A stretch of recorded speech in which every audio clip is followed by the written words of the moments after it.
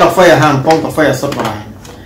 បងប្អូនធ្លាប់ពិបាកហូបកាហ្វេខ្មៅញ័រទ្រូងឬក៏កាហ្វេខ្លះវាមានផលប៉ះពាល់ដល់សុខភាពហើយធ្វើឲ្យញ័រទ្រូងគេមិនសូវលក់តែកាហ្វេនេះគឺមានអត្ថប្រយោជន៍សម្រាប់ជួយប្រឆាំងជាមួយជំងឺទឹកនោមផ្អែមនិងជំងឺផ្សេងៗទៀតហើយពិសេសហូបទៅគឺគេលក់ធម្មតាហើយឆ្ងាញ់មិនបាច់ចាំបាច់ថែមស្ករថែមអីទាំងអស់គឺមានរសជាតិឆ្ងាញ់នៅក្នុងស្រស់អញ្ចឹងកាហ្វេអាហារប៉ុនកាហ្វេដ៏សុទ្ធបុរាណសម្រាប់ដុតជាតិខ្លាញ់